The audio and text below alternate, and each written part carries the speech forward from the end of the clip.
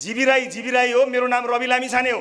GB Rai जोडिएका हरेक ठाउँमा रवि लामी छाने हुँदैन। उसँग मैले टेलिभिजनमा काम गरेको टेलिभिजनमा मेरो नाता सकिएको सकिएको। त्योभन्दा बाढी कहीँ पनि कतै पनि छैन। ऊ दोषी रहेछ भने उसले सबक उसले सबक सिक्नुपर्छ कारवाही हुनुपर्छ र अर्को कुरा पनि भन्न चाहन्छु। आकाशमा होस् पातालमा होस् समाएर ल्याउँछौँ। कतिपय माछाहरू बडो चिप्लो हुन्छन् समाउन खोज्दा खोज्दै चिप्लिन्छन्। कतिपय माछाहरू बाठा हुन्छन्। समाउन खोज्दा खोज्दै फुत्त लुकिहाल्छन्। कतिपय माछाहरू जत्रो जाल हाले पनि जाल हेरेर यसो छल्न जान्ने पनि हुन्छन्। जतिसुकै जान्ने माछा हुन् जतिसुकै चिप्ला माछा हुन् जतिसुकै ठुला माछा हुन्। नागरिकले दिएको शक्तिका अगाडि तिनको केही पनि लाग्दैन। कुर्नु होला प्रतीक्षा गर्नु होला। माछा उम्काउनु पर्यो भने एक मिनटभित्र राजीनामा दिएर निस्कन्छु ढुक्क भएर बस्नु होला। कृष्णबहादुर मौराका विषयमा कतिपय कुरा आइरहेको छ। ल एकजना भर्खरै समातेको त फेरि छोड्दै गए मिलाइदियो भनिहाल्छु फेरि गाली गरिहाल्छु। अब त्यत्रो वाहवाही पाएको हो वाह वाह वाह रविदाई आए भनेको रविदाई बाई बाई भन्नु फेरि सुरु भइहाल्छ कृष्णबहादुर मौराका विषयमा कतिपय कुरा आइरहेको छ। आठ दसवटा औषधि सेवन गरिरहनु भएको छ। अत्यन्त धेरै बिरामी हुनुहुन्छ। सम्मानित अदालतले पनि बिरामी हुनुभएको कुरालाई इङ्गित गरेको छ। र कतिले उहाँलाई छोड्यो ए देखायो छोड्यो भनेर तुरुन्तै निराशा जानु भएको छ। राज्य निर्मम हुन्छ कठोर पनि हुन्छ तर राज्यसँग करुणा भएन भने त्यो अन्याय हुन जान्छ। त्यसैले बिरामी अत्यन्त धेरै बिरामी अत्यन्त नाजुक स्वास्थ्य अवस्था भएको मान्छेलाई कसैको हाजिरी जमानीमा छोडिएको कुरालाई अतिरञ्जित गर्न पर्दैन। भनेको बेलामा चाहेको बेलामा उपस्थित हुने गरी हाजिरी जमानीमा उहाँ हुनुहुन्छ। अदालतले समेत भनिसकेको छ कि उहाँको स्वास्थ्य अवस्था कमजोर छ। त्यस कारणले यसलाई पनि लिएर अनेक टीका टिप्पणीहरू भएको हामीले देखेका छौँ। प्रतिपक्षले संसद अवरुद्ध गरेको छ बहानाहरू बनाएको छ प्रधानमन्त्रीको जवाफ मागेको थियो। प्रधानमन्त्रीको जवाफ आयो अब हुँदैन प्रधानमन्त्रीको जवाफ अब संसदीय समिति चाहिन्छ भनेको सुनिरहेको छु मैले। गृहमन्त्रीको राजीनामा पनि मागिरहेको भन्ने सुनिरहेको छु मैले। म स्पष्ट पार्न चाहन्छु। जसले मलाई दोषी देखाएको छ अथवा मलाई अनुसन्धानमा राखेको छ यो बहस काठमाडौँको क्षेत्र नम्बर चारमा भयो भने मलाई अझ सजिलो हुन्छ त्यहाँका जनताले थाहा पाऊ काम गर्न नसकेका बेलामा तपाईँहरूले संसदमा या सडकमा उभिएर राजीनामा माग्नै पर्दैन रासोपाका मान्छेहरू खल्तीमा र आफ्नो ब्यागमा राजीनामा बोकेर हिँडेका छन्। तर तर कसैले एउटा चिरकोटमा हालेको उजुरी प्रहरी कार्यालयको ड्रयरमा बसेको उजुरीमा राजीनामा दिने चिज माग्ने नेपाली काङ्ग्रेस जो अस्तिसम्म झन्डा हल्लाएर अख्तियारमा बयान दिने मन्त्री बोकेर हिँडेको थियो अस्ति रोस्टम घेर्न जाँदा त यसरी हल्लिँदै दिने मन्त्रीहरू पो देख्छु म त। राजीनामा दे राजीनामा दे भन्ने को रहेछन् भनेको त अख्तियारमा झन्डा हल्लाउँदै बयान दिन जाने मान्छे पो ए हल्लाइ हल्लाइ रोस्टम अगाडि पुगेको रहेछ। ए आफू सरकारमा बसुन्जेल त्यो नैतिकता नचाहिने। ए आफू सरकारमा बसुन्जेल नैतिकता नचाहिने। अनि त्यतिखेर नैतिकता देखाएर उक्त अख्तियारले बोलायो हाम्रो मन्त्री त हामीले निकाल्यो भनिदिएको भए हुन्थ्यो नि त। निकाल्नु भएन। प्रधानमन्त्रीले गलत्याउनु पर्यो। अनि नैतिकता उहाँले मसँग खोजिरहनु भएको छ। यो के अवस्था अप्ठ्या अप्ठ्यारो छ भने नेपाली काङ्ग्रेसका साथीहरूलाई बुझेको केही पनि छैन। तर सबै बुझेको जस्तो नि गर्नु परेछ। त्यो समस्यामा उहाँहरू हुनुहुन्छ। म एउटा स्पष्ट कुरा राख्न चाहन्छु। मेरा विषयमा आफ्नो पार्टीको बैठकमा पटक पटक साथीहरूलाई सोध्नु होला है बुझ्नु होला भनेर त्यो लोकतान्त्रिक आन्तरिक लोकतन्त्रलाई स्पष्ट पारेर बैठक चलाएका छौँ हामीले। साथीहरू यहीँ हुनुहुन्छ। एक पटक होइन पटक पटक। हाम्रो पार्टीभित्र प्रश्न वर्जित छैन। हरेक मानिसलाई हामी प्रश्न सोध्छौँ सोध्न लगाउँछौँ सोध्छौँ र त्यसको यथेष्ट जवाफ दिने क्रमलाई हामी अगाडि बढाउँछौँ। मेरा विषयमा उठेका कुरामा हामीले यथेष्ट संवाद गरेका छौँ र मैले त्यसलाई सार्वजनिक पनि गरेको छु। तर मेरो जवाब संसदमा सुन्ने धैर्य पनि प्रमुख प्रतिपक्ष दलले राखेन। मैले जवाफ दिन पाएको भए त्यो कुरालाई अझै राम्रोसँग स्पष्ट पार्थेँ र यति ठुलो इतिहास बोकेको दल एउटा पूरक उजुरी एउटा ठाडो उजुरीमा सदनै बन्द गर्नुपर्छ किन भनिरहेको छ भन्ने कुरा म स्पष्ट पार्न सक्थेँ म गर्न पाउँथेँ। तर किन हो किन्ने उसले सुन्न चाहेको छैन र निरन्तर ऊ भनिरहेको छ कि अब समिति बनाऊ राजीनामा देऊ भनेर उहाँहरूले भनिरहनु भएको छ। म एउटा कुरा चुनौतीका साथ भन्न चाहन्छु आज। मैले आफ्ना कुरा नेपाली जनतालाई प्रेस मिट मार्फत समस्या हुँदा जहिले पनि भन्ने गरेको छु र प्रेसलाई प्रशस्त प्रश्न बोकेर आउनुहोस् भन्ने गरेको छु। त्यतिखेर काङ्ग्रेसका साथीहरू सत्तामा हुनुहुन्थ्यो कहाँ के कुरा मिलाउनुमा बिजी हुनुहुन्थ्यो हेर्न सुन्न पाउनु भएन छ। ठिक छ छुट्यो उहाँहरूबाट। म अब चुनौतीका साथ भन्न चाहन्छु प्रभावशाली नेताहरूलाई जो चाहिँ यो मुद्दालाई लिएर त्यो एउटा ठाडो उजुरी लिएर सदनै अवरुद्ध गर्न खोज्नु भएको छ। उहाँहरूलाई भन्न चाहन्छु। तपाईँ कहाँ कहिले कुन मुति मितिमा कुन स्थानमा मलाई बोलाउनुहुन्छ? सदनमा त मलाई बोल्न दिनुभएको छैन। समितिमा पनि कुरा उठाउनु भएको छैन। मैले आफ्ना कुरा राख्न पाएको छैन। ठिक छ। जनताको माझमा राखौँ। जनताका माझमा राखौँ र खुल्ला ठाउँमा तपाईँसँग म बहस गर्न चाहन्छु। मलाई तपाईँले भनेको ठाउँमा तपाईँले भनेको मितिमा बोलाउनुहोस् र प्रमाणित गरिदिनुहोस्। तपाईँ यो देशमा भएभरका सम्पूर्ण लयरहरू तपाईँका पार्टीका भएभरका सम्पूर्ण प्रभावशाली नेताहरू बोकेर आउनुहोला भएभरका सम्पूर्ण प्रमाण लिएर आउनुहोला। म एक्लै आउँछु। म एक्लै आउँछु। सदनमा तपाईँले प्रत्येक दिन कनी कनी लेखी लेखी बोल्न लगाइएका प्रश्नहरू मैले सुनिरहेको छु तर मैले जवाफ दिन पाएको छैन। सदनमै जवाफ दिन पाऊँ भन्ने मैले भनेको छु तर तपाईँले जवाफ दिन सुन्न चाहनु भएको छैन। किनकि तपाईँलाई थाहा छ नौ मिनट अठार सेकेन्डमा तपाईँका सबै प्रश्नहरू निस्तेज हुनेछन्। तपाईँ मलाई किन बोल्न दिनुहुन्थ्यो र? ठिक छ। तपाईँ पनि जनताको मान्छे म पनि जनताको मान्छे। तपाईँलाई निर्वाचित गर्ने तपाईँकै निर्वाचन क्षेत्रका मान्छेका अगाडि उभिएर म तपाईँसँग बहस गर्न चाहन्छु। तपाईँ आफ्ना भयभरका विज्ञसहित आउनुहोला। भयभरका प्रमाण बोकेर आउनुहोला। म एक्लै आउँछु। आम जनताले हेरुन् र त्यो इभेन्ट लाइभ गर्नुहोला सञ्चारकर्मी साथीहरूले। प्रत्यक्ष प्रसारण होस् र सिङ्गो देशले हेरोस् दुधको दुध पानीको पानी छुपियोस्। नेपाली काङ्ग्रेस जस्तो इतिहास बोकेको पार्टी एउटा कुन चिर्कटमा उभिएको छ भन्ने कुरा नेपाली जनताले राम्रोसँग हेरुन्। म त्यो अवसरको अपेक्षा गर्दछु। संसदीय समितिमा बोलाए हुन्छ। अनुसन्धान गर्ने अधिकारीहरू त्यही हुनुहुन्छ। हेरोस् काङ्ग्रेसले। जुन सहकारीको मुद्दामा सम्मानित अदालतमा मुद्दा गएको छ त्यो मुद्दामा रवि लामिछाने भन्ने मान्छे प्रतिवादी हो कि होइन? काङ्ग्रेसले हेरोस्। अनि मात्र सदनमा कुरा गरोस्। जुन मुद्दामा अहिले बहस चलेको छ जहाँ मैले ऋण लियो भनिएको छ त्यो ऋण लिएको हो कि होइन रहेछ? त्यो कुरा सबै प्रमाण बोकेर आओस्। म त्यसमा बहस गर्न तयार छु। मलाई प्रमाणित गरिदिए हुन्छ। तत्काल त्यहाँबाट के गर्नुपर्छ म त्यहीँबाट गरौँला। मेरो चुनौती छ उहाँहरूलाई होइन यो गर्न सकिँदैन। दायाँ बायाँ घुमौरो कुरो कुरा गर्नु पर्दैन। मलाई यति भनिदिनुहोस् कहाँ आउँ म? म कहाँ आउँ बहस गर्न? सदनमा दिनु भएन म कहाँ आउँ? म तयार छु। तपाईँका होनहार एक सय एकभन्दा एक सय एक नेताहरूलाई अगाडि राख्नुहोस् कतिजना राख्नुहुन्छ राख्नुहोस् म एक्लै तपाईँका हरेक प्रश्नको हरेक जिज्ञासाको जवाब दिन्छु जवाब मात्र होइन समाधान दिन्छु। जसले मलाई दोषी देखाएको छ अथवा मलाई अनुसन्धानमा राखेको छ यो बहस काठमाडौँको क्षेत्र नम्बर चारमा भयो भने मलाई अझ सजिलो हुन्छ त्यहाँका जनताले थाहा पाऊ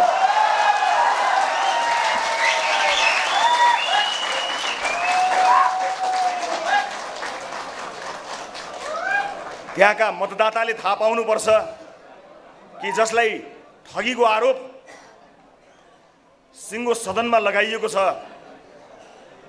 ठगी त्यसले गरेको छ कि अरू कसैले गरेको छ? म यो कठघरामा उभिन चाहन्छु। होइन त्यस्तो आयोजना कसैले गर्न सक्दैन चाहँदैन भने रासोपाले आयोजना गर्छ र त्यहाँका जनताले मलाई प्रश्न गरून् कि तिमीले के के गर्यौ? म उभिएर जवाब दिन चाहन्छु। म स्पष्ट पार्न चाहन्छु। कहिलेकाहीँ गलत कुरा पटक पटक पटक पटक भनिरह्यो भने के हुन्छ भने त्यो सही हुन्छ कि भन्ने एउटा थ्योरी हुन्छ। त्यो थ्योरी लागेको जसलाई एउटा कथा सुनिएको थियो नि काँधमा एउटा खसी कि बाख्रा खसी बोकेर हिँडिरहेको मान्छे। अनि त्यो मैले कथा नै हो है यो फेरि अन्यथा नलिनु। अब त्यस्तै परेछ संयोग अब त्यो होइन है मेरो। त्यो काँधमा बोकेर गएकोलाई के भने नि त्यो केही ठगहरू मिलेर बाटोमा त्यो खसी खान पाउँला भनेर। ए यो कुकुर बोकेर कहाँ गएको हँ भनेर भन्छन् नि। सरकारी ठग भने त्यही भनिरहेछ। कहाँ छु सदस्य म? यो मुद्दा छ त्यहाँ कहाँ गयो? फेरि सब जुडिसियरी कुरामा यो कन्डेम अफ कोर्ट हुन्छ कि हुँदैन? अदालतमा भएको त्यो मुद्दा जहाँ मेरो नाम पनि छैन। जहाँ कसैले बयानमा मेरो नाम उपलब्ध पनि छैन न म त्यो सहकारीको सदस्य म न त्यो सहकारीको सञ्चालक न त्यसको खातावाला न पैसा लिएको छु न निवेदन दिएर ऋण लिएको छु न ऋण मेरो नाममा छ मैले लिएको छु न त्यो केवाइसी भरिएको छ। कसैले मेरो नाम हालिदियो कसैले त्यसलाई फर्चोट पनि गर्यो अब ऋणै लिएको भए पनि ऋण तिर्ने दायित्व होला। ऋण तिर्ने दायित्व मान्छे कसरी ठग होला? त्यसमाथि लिएको छैन देखिएको छैन कुनै हस्ताक्षर मेरो छैन। तै पनि ठक ठगुई खसी बोकेर हिँडेछ। ए कुकुर बोकेर कहाँ जान लाग्यो? कुकुर बोकेर कहाँ जान लाग्यो भन्यो। त्यहाँ जान्छ कुकुर बोकेर कहाँ जान लाग्यो भन्छ। उता जान्छ कुकुर बोकेर कहाँ जान लाग्यो भन्छ। फेरि तल गयो ए यो कुकुर अब त्यो मान्छे त अचम्ममा पऱ्यो खसी बोकेर आएछ कुकुर बोकेर कहाँ जान लाग्यो भन्छ। ऊ हेर्छ फेरि कुकुर बोकेर कहाँ जान लाग्यो भन्छ। रवि लामी छाने त्यति बेगुम मान्छेको नाम होइन। नेपाली कङ्ग्रेसका होनहार कयौँ सांसदहरू हुनुहुन्छ? कति लामो राजनीतिक त्याग र इतिहास छ? कयौँ महिला सांसदहरू हुनुहुन्छ? अपार सम्मान छ मेरो उहाँहरूप्रति। उहाँहरूको राजनीतिक जीवन उहाँहरूको राजनीतिक निष्ठा उहाँहरूको राजनीतिक त्याग। तर उहाँहरूलाई पनि भ्रम छरेर एउटा चिरकट त्यही अहिले मैले ऊ यो कुकुर लिएर कहाँ जानला भने त सहकारी सहकारी लिएर हालिदिएछ बिचराहरू कनी कुथी बुझे त केही छैन। भयङ्कर बुझे जस्तो बोल्नु परेको छ।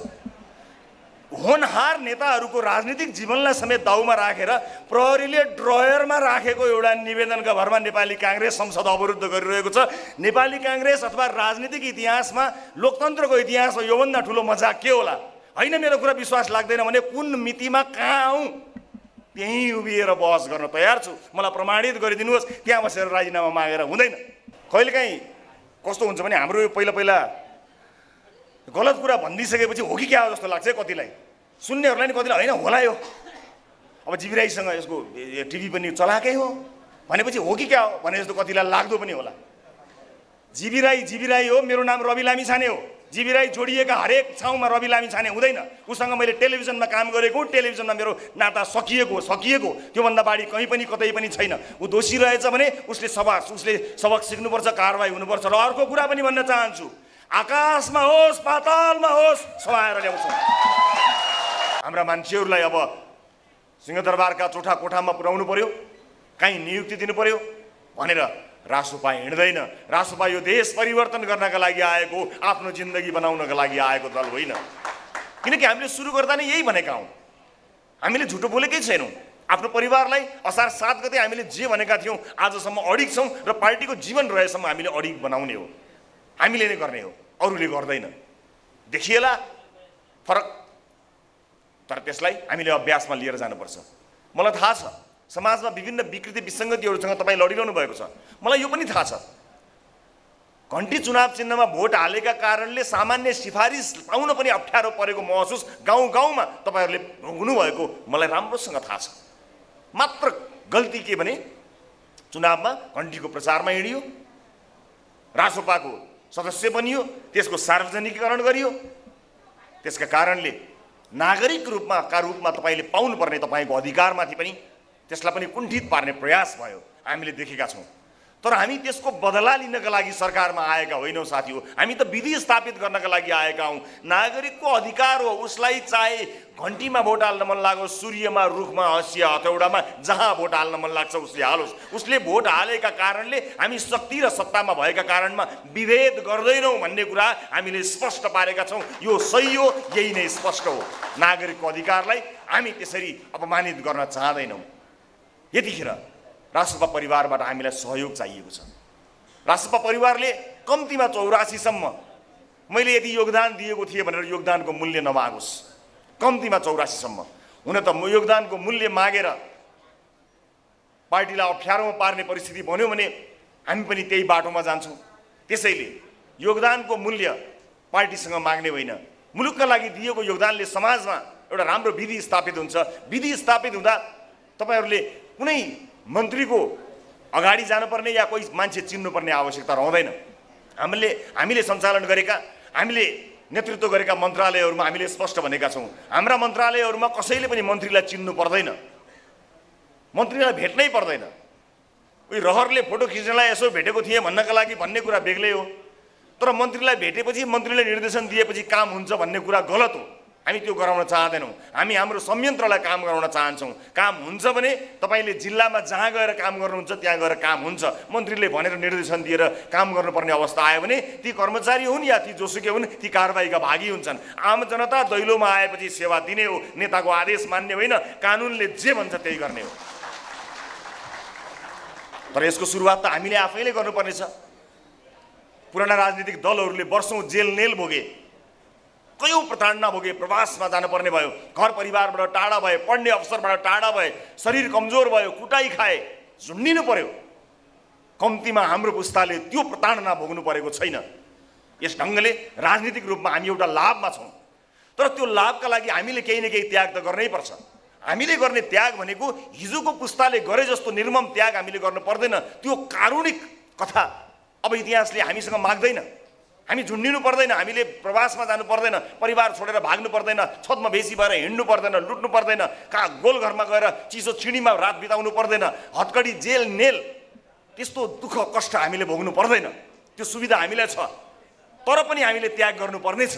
हाम्रो पुस्ताले अब गर्ने त्याग भनेको म यो पार्टीमा चुनावमा प्रचार गर्न हिँडेको थिएँ त्यस कारणले यहाँ मेरो मान्छे नियुक्ति गर्नु पर्यो भन्ने त्यो कागज बोकेर नआउने त्याग हामीले गर्नुपर्नेछ। यति जाबो।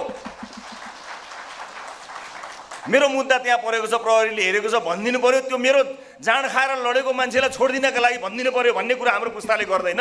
त्यति त हामी भन्न सक्छौँ होला नि।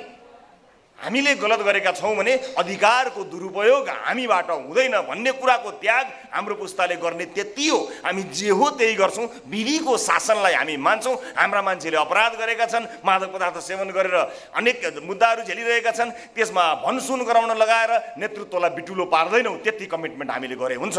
हामी पार्टीमा विभिन्न अहदामा अहिले बसेका छौँ। त्यो अहदामा बस्नु भनेको हामी उम्मेदवारका लागि योग्य भएका होइनौँ। अहिले हामी पार्टी सञ्चालनमा साथ दिइरहेका छौँ।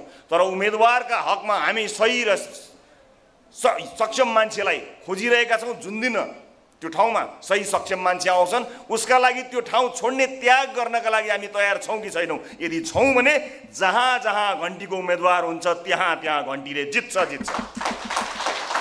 किनकि यो देशले योग्य मानिसहरू खोजिरहेको छ क्षमतावान मानिसहरू खोजेको छ। त्यो ठाउँ तपाईँ हामीले घटिदियो भने हामीलाई समस्या पर्छ। कतिपय साथीहरू रिसाउनु पनि भएको छ। हामीले चुनावमा जिताउनलाई यत्रो धेरै दुःख गऱ्यौँ हामी यस्तो लाग्यौँ हामीले अनेक किसिमको हन्डर भोग्यौँ अहिले हामीले भेट्न पनि नपाउने। एकचोटि यसो एउटा खाता लगाएर फुल दिएर माला दिएर बधाई भनेर एउटा फोटो छाप्न दुई मिनट पनि हामीले नपाउने भनेर पनि कति साथीहरू बडो रिसाउनु पनि भएको छ। त्यो पनि मलाई थाहा छ। म तपाईँहरूलाई विनम्रतापूर्वक अनुरोध गर्न चाहन्छु। हामीले हेऱ्यौँ हामीले देख्यौँ। ती बधाई ती शुभकामना ती खादा माला शुभकामना बधाईहरू हामीले देख्यौँ। तर यतिखेर हामी यस्तो परिस्थितिमा सरकारमा सहभागी भएका छौँ। यो परिस्थितिमा एक एक मिनट हाम्रो लागि महत्त्वपूर्ण समय रहन्छ। र हामीले हाम्रा मन्त्रीहरूलाई भनेका छौँ स्पष्ट रूपमा कि आजको दिन नै हाम्रो लागि अन्तिम दिन हो भनेर तपाईँहरू काम गर्नु होला है।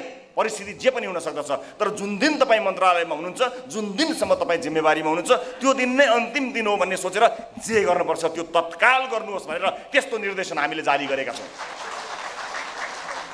हाम्रा साथीहरूलाई यतिखेर औपचारिकताको लागि समय नहुन सक्छ।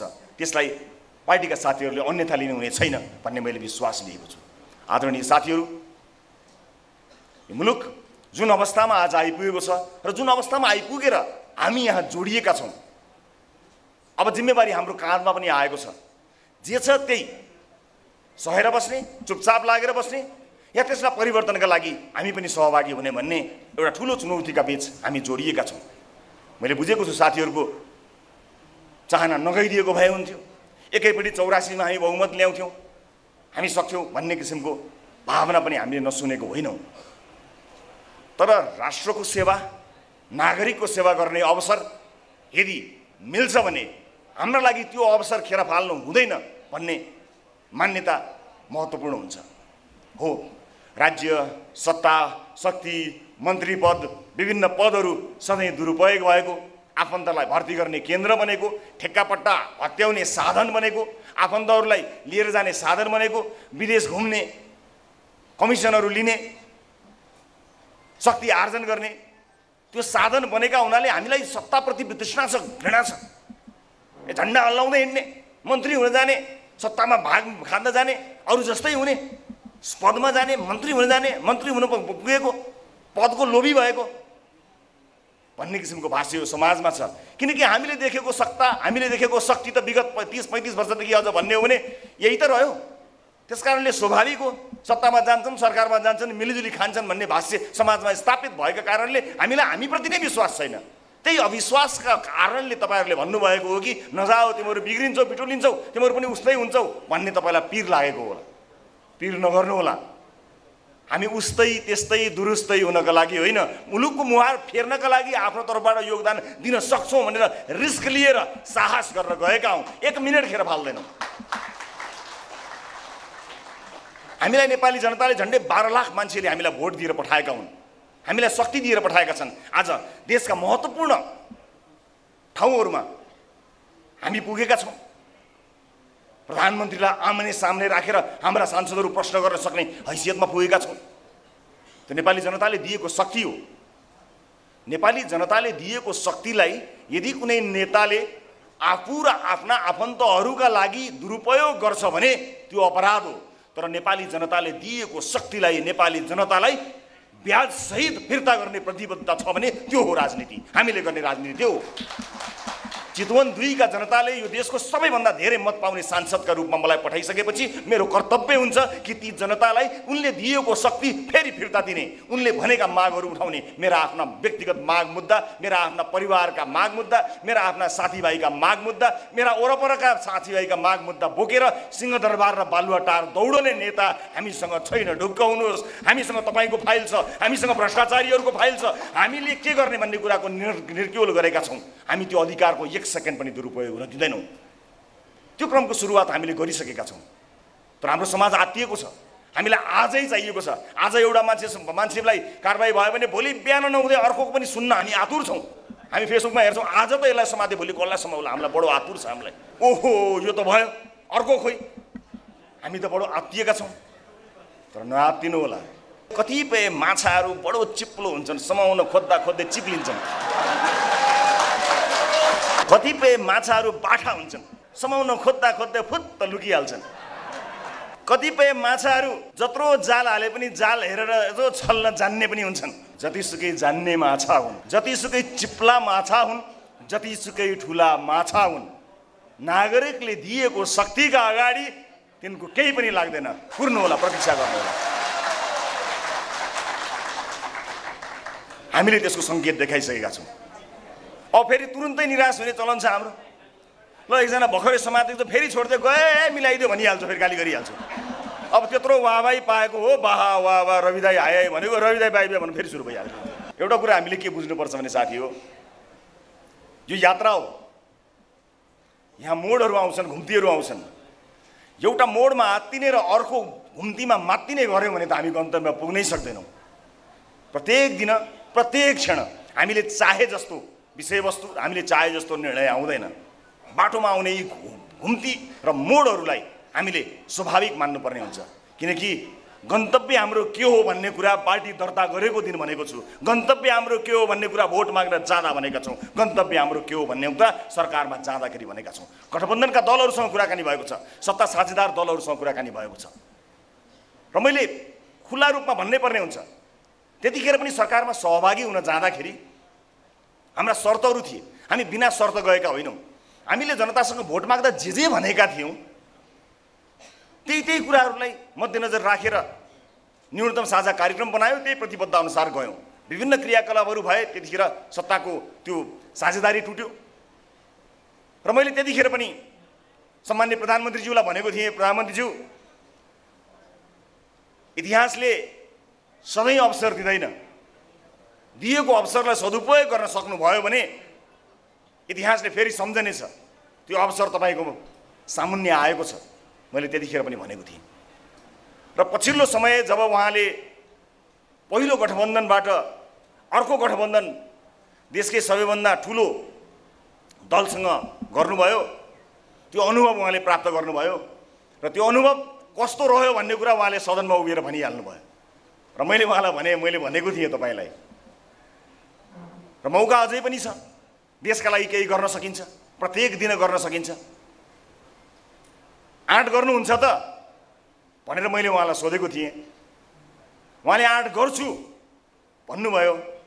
भन्नु मात्र भएन केही दिन अगाडि आँट गरेर देखाइ पनि दिनुभयो। यही आँट रहिरह्यो भने यही आँट रहिरह्यो भने ऐतिहासिक उपलब्धि प्राप्त गर्नका लागि यो अवसर तपाईँलाई प्राप्त हुन्छ भनेर भनेको छु। यो अवसरलाई हामी नयाँ र तपाईँ अनुभवीको यो अवसरलाई हामीले सदुपयोग गर्न सक्यौँ भने आउने चुनावभन्दा अगाडि नै एउटा आशा एउटा भरोसा सिर्जना गर्न सकिन्छ।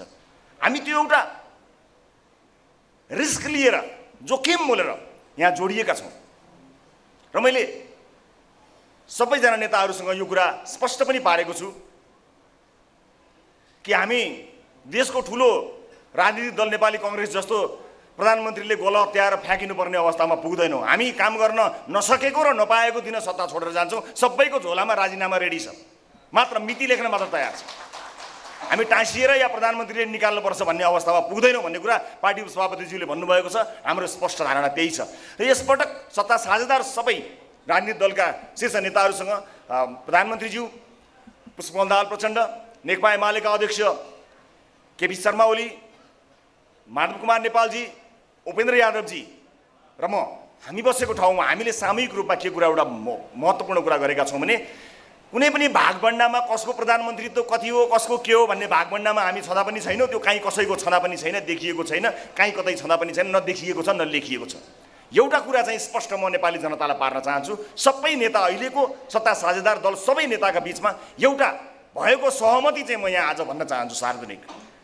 कि आजसम्म यति लामो राजनीतिक इतिहासमा होला परिस्थितिले परिबन्धले कारणले अकारणले कयौँ मान्छेहरूलाई जोगाइयो होला कयौँ साथीहरूलाई जोगाउनु पर्यो होला जोगिए होलान् जोगाउने बाध्यता पर्यो होला विभिन्न कारणले जोगियो होला जोगाइयो होला जानेर नजानेर कोही जोगिए कसैलाई जोगाइयो होला।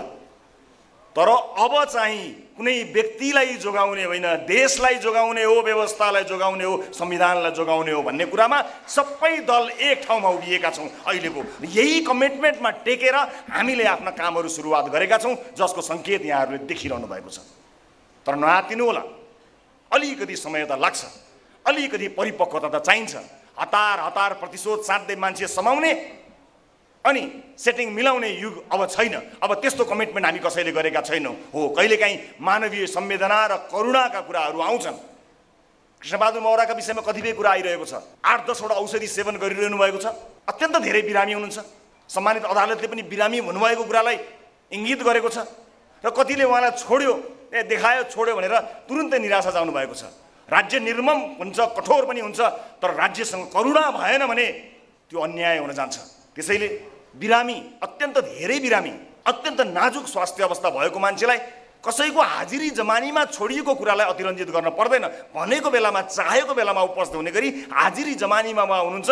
अदालतले समेत भनिसकेको छ कि उहाँको स्वास्थ्य अवस्था कमजोर छ। त्यस कारणले यसलाई पनि लिएर अनेक टिका टिप्पणीहरू भएको हामीले देखेका छौँ। दोषी कोही पनि उम्कदैन निर्दोष कोही पनि फस्दैन निर्धक्क हुनुहोला नआत्तिनु होला धैर्य गर्नुहोला मैले अघि भने जस्तै माछा ठुलो होस् चिप्लो होस् बाठो होस् जस्तो सुकै होस् उम्कदैन। माछा उम्काउनु पर्यो भने एक मिनटभित्र राजीनामा दिएर निस्कन्छु ढुक्क भएर बस्नु होला